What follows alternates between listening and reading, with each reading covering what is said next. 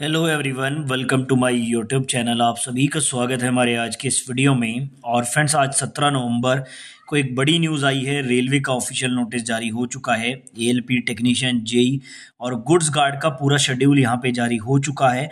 तो चलिए official notice पे चलते हैं और देखते हैं कि कौन सा नोटिस है और किस वैकेंसी के रिगार्डिंग है।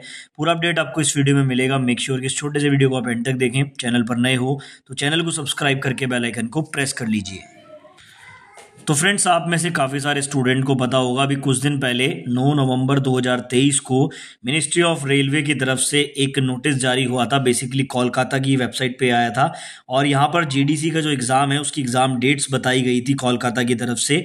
और यहाँ पर जैसा कि आप लोग देख सकते हैं, पंद्रह दिसंबर 22 दिसंबर और 23 दिसंबर को यहाँ पर जीडीसी एग्ज़ाम कराने की जो बात है वो इस नोटिस में कही गई थी। अब देखो, यहाँ पर एक और नोटिस सामने आया है, जिसमें जीडीसी का कंप्लीट शेड्यूल जारी हो चुका है और कब से कब तक आपके एग्ज़ाम चलने वो सारी चीज़ें बताइए तो चलिए ऑफिशियल नोटिस पर चलते हैं, उसके बाद हम लोग चीज़ें डिस्कस करते हैं। तो यहाँ पर जो लेटेस्ट नोटिस है, वो railway recruitment cell South Central railway Secunderabad की तरफ़ से आया है। कल की डेट में, यानी कि 16 नवंबर 2023 का नोटिस आप लोग देख सकते हैं। यहाँ पर बेसिकली सब्जेक्ट में बताया गया है publishing eligible list two of candidate who have applied for GDC notification number एक दो यानी कि यहाँ पर इन्होंने एक लिस्ट जारी की है, जिसमें एलिजिबल कैंडिडेट के जो नाम है, वो यहाँ पर दिए गए हैं। इससे पहले एक लिस्ट और आई थी टोटल दो लिस्ट यहाँ पर इशू हो चुकी है। आगे बोला गया further to the eligible list of candidate publish dated सत्ताईस दस 164 more candidates have been made eligible यानी कि 27 दस में एक लिस्ट आई थी, उसी में एक कैंडिडेट को अब यहाँ पर ये ऐड किया जा रहा है और एलिजिबल कैंडिडेट्स इसमें ऐड हुए हैं।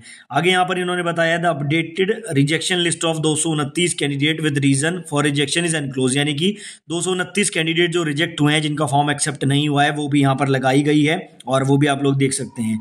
All the eligible employees are advise to be ready for CBT which will be held as per the schedule तो ये शेड्यूल यहाँ पे आ चुका है और जैसा कि आप देख सकते हैं, पंद्रह दिसंबर, बाईस दिसंबर और तेईस दिसंबर, बिल्कुल जो सेम डेट्स यहाँ पर कोलकाता वाले नोटिस में बताई गई थी, वही यहाँ पर बताई गई है। पंद्रह दिसंबर, यानी कि फ्राइडे को फ़र्स्ट शिफ्ट में यहाँ पर जो एग्ज़ाम है candidate of ALP technician with ITI trade only जिन लोगों ने आईटीआई के आधार पर एएलपी टेक्नीशियन में अप्लाई किया है, उनका एग्ज़ाम 15 दिसंबर 2023 को होगा।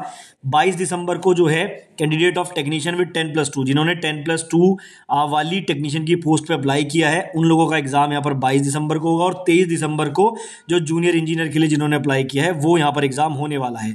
तो अच्छी खबर है यहाँ पर जीडीसी वाले एस्पायरेंट के लिए। देखो जीडीसी के फॉर्म भी आए, ठीक है, बहुत जल्दी फॉर्म फिल करा के पूरा शेड्यूल भी जारी हुआ, ठीक है ना? और यहाँ पर जो एग्ज़ाम कंडक्टिंग एजेंसी है, उसका भी चयन हुआ। तो जैसा कि आप लोग देख रहे हैं जीडीसी हो या इंटरनल एग्ज़ाम्स हो, उन सभी पर रेलवे बहुत अच्छे से काम कर रहा है, लेकिन ओपन मार्केट की वैकेंसी को लेकर रेलवे को सांप सूंघ जाता है। इतने बड़े ट्विटर कैंपेन के बाद भी कोई ऑफिशियल बयान नहीं आया है। चलिए आगे फ्यूचर में, जो भी होगा उसका अपडेट आपको दूँगा। वैसे तीस नवंबर को फिर से जो है, एक ट्विटर कैंपेन करने की बात हो रही है, लेकिन मुझे जहाँ तक लगता है कि अब अगर नोटिस नहीं आया तो छात्र बहुत ज़्यादा उग्र हो सकते हैं। ठीक है? आगे इस नोटिस में आप लोग देख सकते हैं, पूरी लिस्ट यहाँ पर इंक्लोज की गई है। List of 104 eligible candidate applied for group one post L B technician यहाँ पर आप जो जो आके रजिस्ट्रेशन आईडी और एच आर आईडी वगैरह सब कुछ यहाँ पर देख सकते हैं। ये मैं टेलीग्राम में दे दूँगा, वहाँ पर भी आप देख लेना। बाकी चैनल को सब्सक्राइब कर लेना फ्यूचर अपडेट्स पाने के लिए।